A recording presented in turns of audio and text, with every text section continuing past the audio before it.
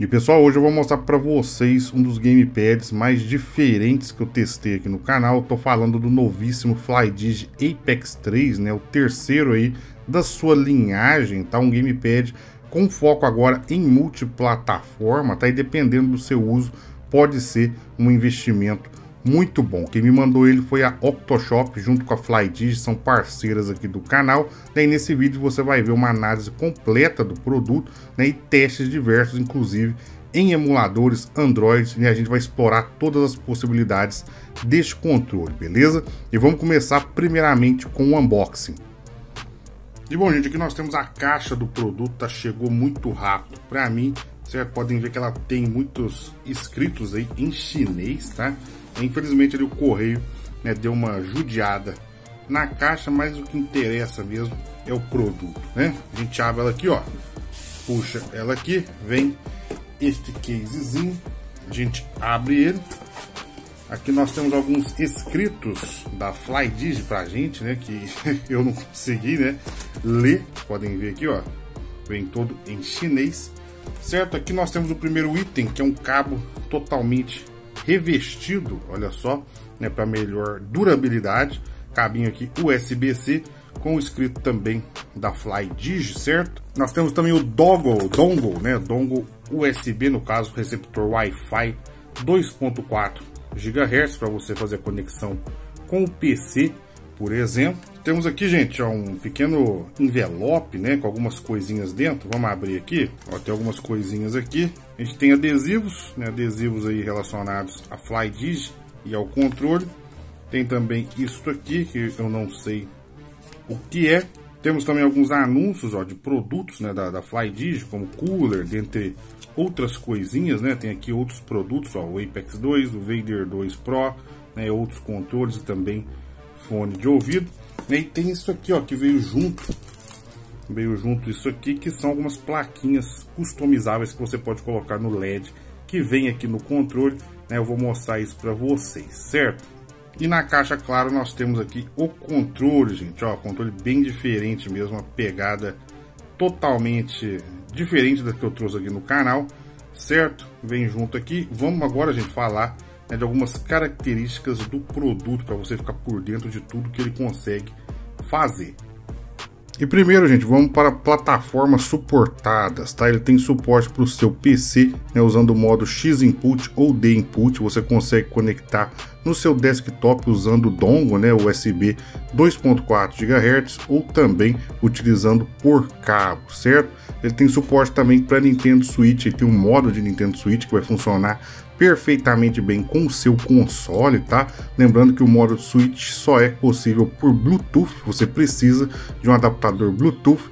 Ele também é compatível com o Android, tá? Ele tem o modo Android e o modo Flash Play, que serve para você mapear games que tem controle por touch. É necessário um Android 10 ou superior e no Android também você pode conectar por Bluetooth, né? Ou você pode utilizar por cabo, por exemplo, usando o X-Input, caso o seu Android tenha né, o suporte utilizando ali um OTG ou algo do tipo. Tem suporte também para iOS, né, dispositivo Apple, né, no caso somente por Bluetooth também e é requerido o iOS 13 ou superior. O controle, gente, tem uma bateria incrível de 1500 mAh, é isso mesmo, você não escutou errado, 1500 mAh, ou seja, dura pra caramba, tá? Além dos 13 botões convencionais, também é disponível quatro botões adicionais na parte de trás, totalmente mapeáveis, né, de acordo com a sua jogatina. Ele tem o faceplate, né, a parte da frente do controle é totalmente removível, né, para customização. Ele também tem LEDs customizáveis, gente. Tem um LEDzinho, né, que você pode utilizar para mudar ali status do controle, o modo do controle e por aí vai que eu vou mostrar para vocês. E também tem um LED customizável que você pode colocar aquelas plaquinhas que eu mostrei no unboxing, né? Você pode escrever alguma coisa ali e deixar o controle com a sua cara. E também, gente, ele tem uma função muito top que são né, os gatilhos adaptáveis. Além dos gatilhos serem analógicos, né, sensíveis à pressão, você tem aquela mesma função do DualSense, né, o Force Feedback, que o gatilho vai responder ali dependendo da sua ação no jogo, né? Ele tem alguns presets disponíveis, eu vou mostrar isso no vídeo para vocês, mas é um diferencial dos controles do mercado também. Falando da construção do controle, gente, ele é bem bonito, tá? E também ele é consideravelmente mais pesado que os controles que eu já testei aqui para vocês, certo? Aqui na parte de trás a gente tem uma área bem grande, ó, com uma textura diferente para você colocar, né? Para você segurar o controle que dá uma aderência. Vocês podem ver que cobre toda esta parte. Isso de certo modo faz a diferença. A gente tem aqui os quatro botões adicionais que eu mencionei para vocês. Uma coisa também que é texturizado, ó, é esta parte aqui de baixo dos shoulder buttons, né? E também esta partezinha aqui dos gatilhos, ó, tem uma pequena textura aqui para ajudar na aderência, tá? A gente tem suporte para conectar, né? Suporte para Android, também é compatível com o suporte do FlyDigi Apex 2, certo? E a gente tem esses botões aqui removíveis, tá? Os analógicos também o direcional. Eu vou remover aqui para vocês, ó, basta você puxar, tá? É bem simples mesmo, não tem segredo. Tem alguns controles que isso aqui é removível, mas é um custo, né, gente, para gente tirar. Esse aqui não só o direcional, que é um pouquinho mais chato, mas é totalmente removível, ó. Vocês podem ver, você pode colocar outro né, analógico maior ou menor, dependendo da sua jogatina. Outra coisa também que é removível é o faceplate, né, que eu mostrei para vocês, acho que é assim o nome. Aí ele é totalmente magnético, ó, ele sai. A gente tem aqui os pontos, né, magnéticos, ó, que são correspondentes aqui, por exemplo, né, vocês podem ver. Né, ele conecta de forma muito simples, não tem nenhum gancho, nem nada do tipo para impedir você de até mesmo quebrar o controle. Aí aqui a gente tem um visual bem futurista, bem diferente mesmo. Aí aqui você pode modificar, por exemplo, essa plaquinha aqui, que é um LEDzinho, né? E de termos de customização, é isso que a gente tem, os analógicos, o direcional e este LEDzinho aqui. Você consegue customizar este LED aqui, mas também é só por software, certo? Uma coisa também interessante, gente, que eu quero ressaltar, vamos conectar aqui de novo. Ó, muito simples, vocês viram, né? Só encaixar.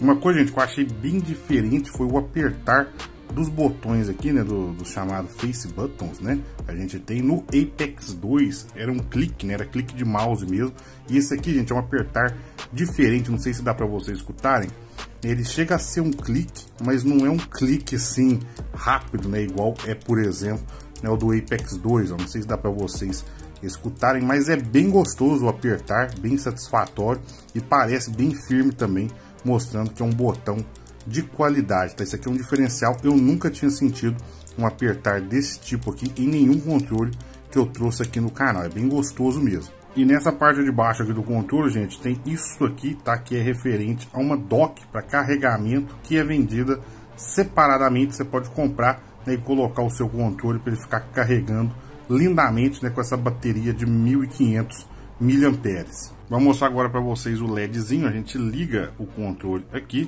certo? A gente já tem ali uma animação da FlyDigi e com esse LED customizável aqui que eu falei para vocês. Aqui, gente, é muito simples para você acessar as funções do LED. Tem o botão Home, ó, você pressiona ele por alguns segundos e vai aparecer um menu. Tá por hora este menu, né, está em mandarim, né, em chinês. Né, eu não sei se a FlyDigi vai colocar um update, né, mas é bem intuitivo mesmo, tá? Não tem segredo não. Logo aqui no começo a gente tem os modos, ó, a gente clica em A, a gente tem o modo X Input, como eu falei para vocês, que pode ser por cabo ou por dongle, né, que você pode é, usar ele. A gente tem o modo D Input, gente, que é uma API mais antiga que o X Input, é para jogos mais antigos que não tem suporte para o X Input, é bem provável que você não vá utilizar isso aqui, mas está disponível. A gente tem um modo de switch, como eu falei para vocês, compatível com o console, né, vai ter todas as funções, tirando a função né, de você escanear amigos, tá? Ele não tem suporte a isso, mas tem suporte a sensor de movimento, né? Tem suporte também a acordar o Nintendo Switch com o próprio botão Home e coisas do tipo, certo? A gente tem um modo Android, tá? Que é o modo padrão aí de Android. Tem o modo Flash Play, que é um modo para você mapear, né, usar aí o aplicativo da FlyDigi no Android para você mapear em games que utilizam o touch. E tem aqui também o modo de iOS, tá bem tranquilo mesmo. A gente vira aqui para o lado, ó, essa segunda opção, a gente tem os modos né, do gatilho, dos gatilhos com force feedback, igual do DualSense. O primeiro é o desligado, a gente tem o segundo, o terceiro e o quarto que eu vou mostrar no PC para vocês, mas você pode trocar esse modo diretamente aqui com o HUDzinho deste LED. Passando para a terceira opção, tem o brilho, gente, do LED, ó. O brilho do LED eu sempre deixo ele no máximo. Passando para a quarta opção, a gente tem a opção de enviar sinal para parear. Por exemplo, você conecta ele no modo switch, você clica nisso aqui, ele vai enviar sinal de pareamento e vai aparecer, por exemplo, no seu dispositivo Bluetooth. Né? Eu vou mostrar isso para vocês quando eu testar ele no emulador de Nintendo Switch. Aqui nessa outra opção a gente tem informação de firmware e também a firmware dos gatilhos, tá? Que os gatilhos também tem firmware independente. E aqui, creio eu, né, é um manual, tem um QR Code para você entrar no manual do produto. É bem tranquilo mesmo. Eu já vou deixar ele aqui no modo X Input, ó, para a gente colocar ele, né, no PC para a gente testar.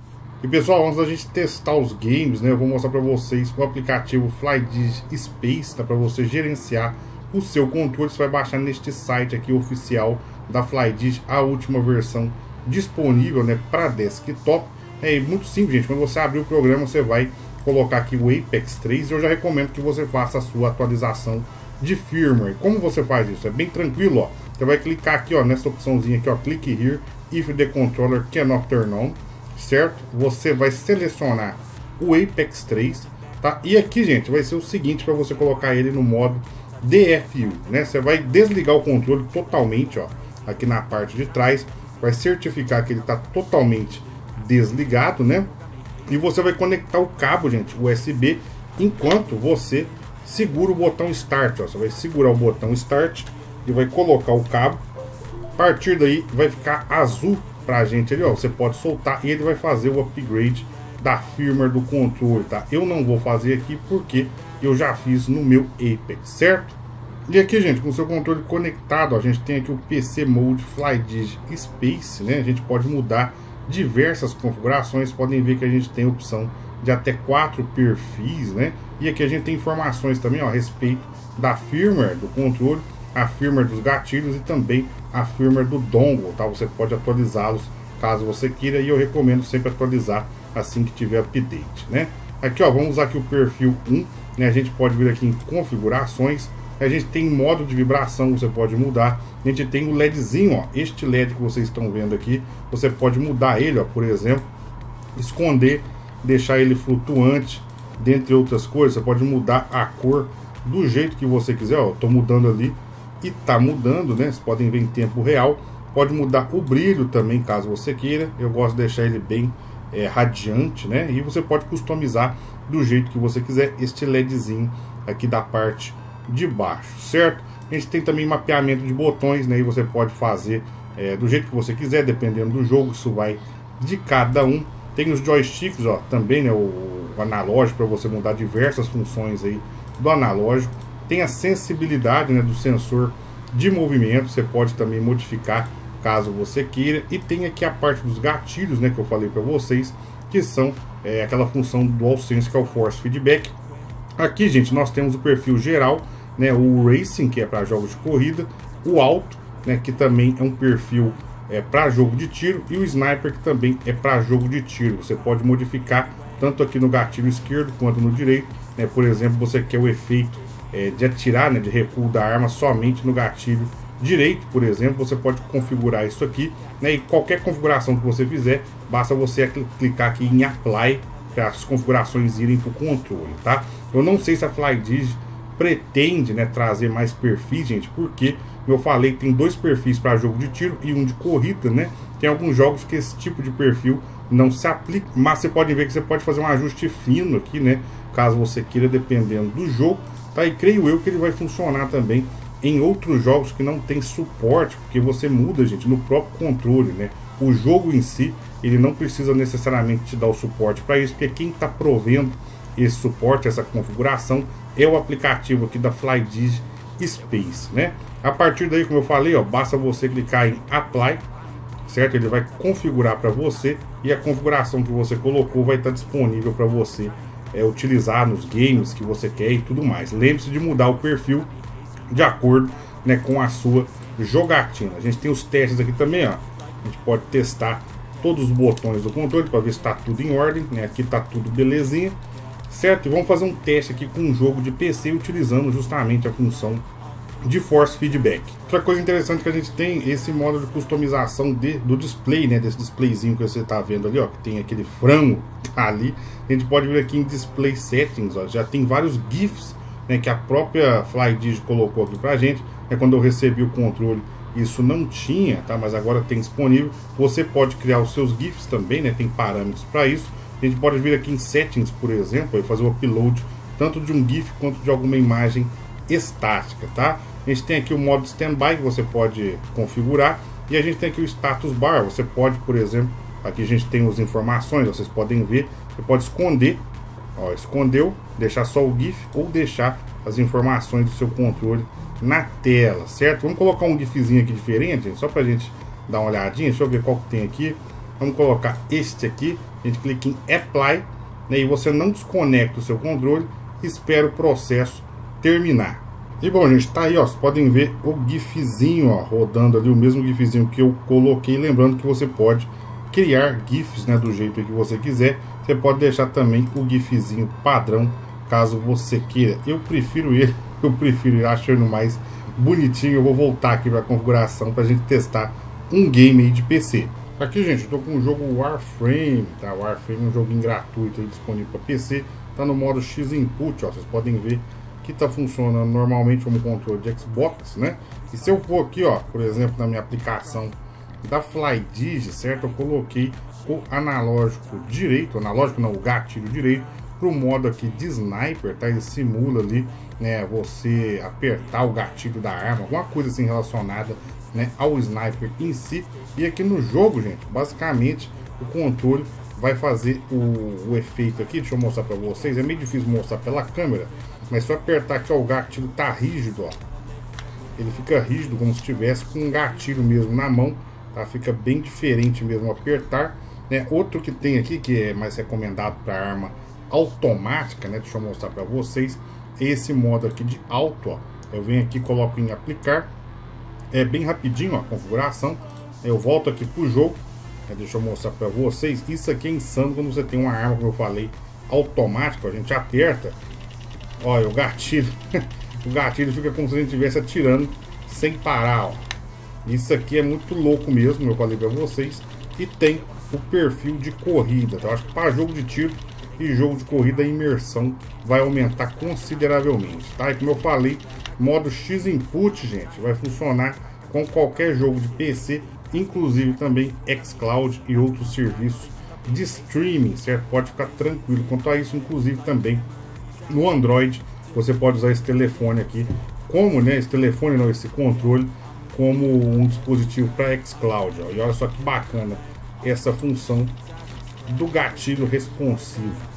E bom, gente, estou agora aqui ó, com um jogo no emulador de Xbox 360 Zine. Estou aqui com um jogo chamado de Blur, né? Jogo que inclusive teve grande performance. E vai funcionar tranquilamente, ó, vocês podem ver. E uma coisa que eu disse para vocês, gente, é que é o seguinte, ó, no meu aplicativo aqui, eu vim aqui e coloquei na, no gatilho, né, no gatilho direito, coloquei o modo de corrida, tá? E o efeito está funcionando, gente. Aqui, ó, não sei se vai dar para vocês verem, mas está mais rígido. Aqui, ó, tá simulando como se eu estivesse apertando mesmo um, pedal, né? Pra gente acelerar o carro. Ele tá com a sensibilidade mais rígida, né? Tá com o modo de corrida. Lembrando que eu posso fazer um ajuste fino aí, caso eu queira, tá? Mas o diferencial, como eu falei para vocês, é que você tem o aplicativo da FlyDigi, né? E você pode aproveitar essa experiência né, desses gatilhos adaptáveis, né, não só em games compatíveis, como acontece com o DualSense, mas também com outros jogos. Podem ver que eu estou utilizando a função em um emulador de um console que tem um controle que não tem essa função. Né? O controle de Xbox 360 não tem a função de gatilho adaptável. Ó. Vocês podem ver que está funcionando, está bem rígido, né? E você pode configurar do jeito que você quiser. Agora, gente, vamos testar o sensor de movimento dele. Então, eu desconectei ele do, do PC, ó, por cabo. Lembrando que você precisa de um adaptador Bluetooth, certo? E aqui é muito simples, ó. Igual falei para vocês, a gente aperta o botão Home e a gente vai trocar ele de modo, ó. Começa aqui, vamos colocar ele no modo de switch, ó, como vocês podem ver aqui, certo? Ele vai meio que resetar, né? A gente aperta o botão Home de novo troca para aquela opçãozinha, se eu não me engano é esta aqui, de pareamento, Aqui no PC, a gente vai vir para adicionar um novo dispositivo e a gente vai apertar essa opção para ele mandar sinal de pareamento. A gente tem aqui o Pro Controller, vamos fazer a conexão diretamente com o PC. Tá lembrando que com o Nintendo Switch vai funcionar também perfeitamente, é só a gente aguardar. Terminou, gente, aqui a conexão, ó, o dispositivo está pronto para uso, ó. Novamente aqui fica, né, volta o bichinho, o gifzinho, certo? E a gente vai testar em emulação de Nintendo Switch. Primeiro vamos abrir aqui o Yuzu. Podem ver na parte de controle, ele é identificado como um Nintendo Switch Pro Controller, ó. A gente tem aqui os analógicos e tudo mais. E no Motion, se a gente clicar no Motion e mover o controle, ele automaticamente identifica o Motion do controle também, certo? Vamos testar aqui primeiro, gente, The Legend of Zelda Breath of the Wild. Bom, gente, estou aqui um desafio de movimento. Tô aqui com o controle. Vamos colocar, ó, e o sensor funciona tranquilamente, igual o Pro Controller mesmo. Você vai poder usar né, nos diferentes games de Nintendo Switch, que essa função é necessária, ó, de boa mesmo. Ela vai funcionar tranquilamente, o que é excelente esse, esse desafio aqui. É um que eu penei na época, não tinha controle com sensor mas olha o tanto que fica mais fácil. Ó. Só você correr com a bolinha, fazer a paradinha certa, que vai funcionar, certo? Vamos testar outro emulador agora. Vamos testar o emulador Semu. Tô eu aqui novamente, gente, no mesmo jogo, só que no emulador Semu. A gente vai vir aqui, ó, nas configurações de controle. Ele é um Nintendo Switch Pro Controller, ó. E aqui a gente já habilita a função de Motion, tá? Sem nenhum aplicativo de terceiro, né? Como DualShock 4, Windows e por aí vai. Não precisa de nada disso. Né? Tô aqui com o controle e ó, novamente vai funcionar igual a gente viu lá no emulador de Nintendo Switch. Tá? E aqui, gente, uma consideração muito importante, tá? É, este controle aqui vai funcionar o sensor em projetos como Semu, Yuzu, Ryujinx, Citra e também no Dolphin, tá? Projetos como RPCS3, por exemplo, não vão contemplar este sensor, pelo menos não neste momento, tá? Então você tem aí uma versatilidade muito grande de projetos que você pode utilizar esta função, certo? Ajuda pra caramba aí em diferentes jogos, né? Principalmente esses aí que são de consoles da Nintendo, né? Que utilizam essas funções aí de movimento, tá? E novamente, ó, como eu falei para vocês, né, após você mudar o modo dele para Switch, igual eu coloquei aqui, caso você queira voltar para algum outro, né, basta você vir aqui, ó, e vou voltar, por exemplo, para o X input, cadê aqui o foco, gente? Vou voltar aqui para o X input, por exemplo, ele vai resetar e já está no modo X input. E aqui, gente, eu tô com o aplicativo da FlyDigi conectado com o Apex 3 no modo Flash Play, né, que é um modo que permite que você mapeie jogos por touch, por exemplo, né? Você pode atualizar a firmware por aqui, né? Por exemplo, vocês podem verificar que já está na última, né? Mas eu não quero atualizar. A gente pode testar os botões também, ó. Ele está conectado aqui, aí eu posso testar para ver se está tudo funcionando bem tranquilo também caso você já tenha algum game né é, que já tenha suporte ele vai aparecer aqui igual eu coloquei o Call of Duty certo? E é isso que a gente vai testar agora para ver o mapeamento com um jogo nativo de Android. Você pode também gente customizar a parte gráfica aqui do controle ó. por exemplo vocês estão vendo ali tá vermelho né? Eu posso mudar aqui ó. Por exemplo a cor deixar do jeito que eu quiser. Eu posso mudar a intensidade do brilho e mudar os modos também. Dá no Android por hora. É só essa customização que a gente tem para fazer com o dispositivo. Vamos trocar de cor aqui, ó. Vamos colocar esse vermelhão aqui. E basta aplicar para fazer efeito, ó. já trocou de cor. E aqui, gente, por exemplo, eu estou aqui com o Warzone, ó. vocês podem ver com o controle já mapeado. Você tem que abrir pelo aplicativo, igual eu mostrei para vocês, e sempre vai ter uma opçãozinha aqui, ó, da FlyDigi, ó, vai ter o tipo um negocinho aqui brotando aqui que você pode fazer um mapeamento, tá? Você pode editar, pode aplicar, já vem modos pré-prontos, né, para você diretamente da FlyDigi, ó. Você pode editar e fazer do jeito que você quiser. Deixa eu dar um skip aqui. Você pode mapear os botões, é muito simples, é muito intuitivo, tá? Você fazer este processo, tá bem tranquilo mesmo e vai funcionar com qualquer jogo aí que tenha botão touch, inclusive você pode mapear até mesmo touch de emuladores, gente, mas no geral isso não é preciso não, né? Nosso inimigo aqui, ó, arrebenta ele, arrebenta ele. Aí, ó, beleza, viu? Funciona com a beleza jogo de futebol, qualquer outro jogo touch que você tem aí, ó. Tô funcionando com ele aqui com o controlinho. Certo, vamos testar agora mais um emulador. Vamos testar um emuladorzinho para ver como é que é. E pessoal, olha só que interessante, ó. Coloquei o home aqui, né, no botãozinho home. Eu troquei de telefone, mudei o modo aqui, ó, pro modo Android, tá? Modo Android. Né, vira aqui novamente, ó, para parear, né, enviar sinal de pareamento, ó. Vou enviar o sinal e lá no meu telefone a gente vai identificar, ó, FlyDig Apex 3. Lembrando que com o telefone aqui, gente, eu não tô com o aplicativo aqui, tá? Eu não tô com o aplicativo nesse telefone. A gente vai testar o Eder SX2, por exemplo. Vamos vir aqui nas configurações de controle, porta 1, mapeamento automático, identificou o FlyDig Apex 3 e vamos carregar um joguinho aqui para ver qual é. E aqui, gente, eu tô com o God of War, ó, funcionando tranquilamente com o controle. Eu tive que mapear ele aqui manualmente no modo Android, tá? Pode acontecer com você. É uma coisa também que você pode conectar ele pelo modo X Input, né? Você pode adaptar, colocar o dongle, né? O receptor utilizando OTG no seu celular, utilizar o modo X Input e vai ser identificado como controle de Xbox e será mapeado automaticamente pelas maioria dos projetos, né? Ou você pode usar via Bluetooth aqui igual eu estou utilizando o modo Android, tá? Que ele vai funcionar também, tá? A comodidade que a gente tem no modo X Input é ele ser mapeado aí tranquilamente, né? Auto-mapeado. A gente não tem necessidade de mapear manualmente, igual eu fiz aqui, ó. Mas está funcionando perfeitamente. E aqui está marcado como conexão Bluetooth no modo Android, ó. Vai funcionar com qualquer projeto também de emulação para o celular, certo? E pessoal, quais são as minhas impressões a respeito deste produto? Pessoal, um produto de extrema qualidade, tá? Um produto diferente, né? Essa parada do gatilho realmente faz uma diferença. Vocês podem ver que em relação ao Apex 2, né, o foco do produto mudou, agora ele tem um foco multiplataforma e ele cumpre muito bem esse papel. Ele custa mais barato que o Apex 2, tá? Vale lembrar isso. E você encontra ele, gente, sabe aonde? Na parceira aqui do canal, na loja Octoshop. Ela é a representante oficial da FlyDigi aqui no país. Você pode comprar lá sem problema nenhum, tá com total garantia, chega muito rápido. Qualquer problema que você tiver com este ou qualquer outro produto, o suporte deles excelente. Tá comprando por lá, além de estar um preço mais barato que no AliExpress, com o cupom Senhor Linguiça, isso mesmo, o cupom que está aparecendo aí na tela, você tem 5% de desconto no FlyDig Apex 3 e também outros produtos da marca, tá? Então lembra aí, se você quer um ano de garantia, possibilidade de parcelar sem juros, receber o produto de forma rápida e ainda por cima sem taxa, isso mesmo, sem nenhuma taxa, compra aí na Octoshop, né? Você fortalece diretamente o canal e eu estou indicando aqui uma loja excelente para vocês. Espero que vocês tenham gostado deste review. Muito obrigado a todos e fui!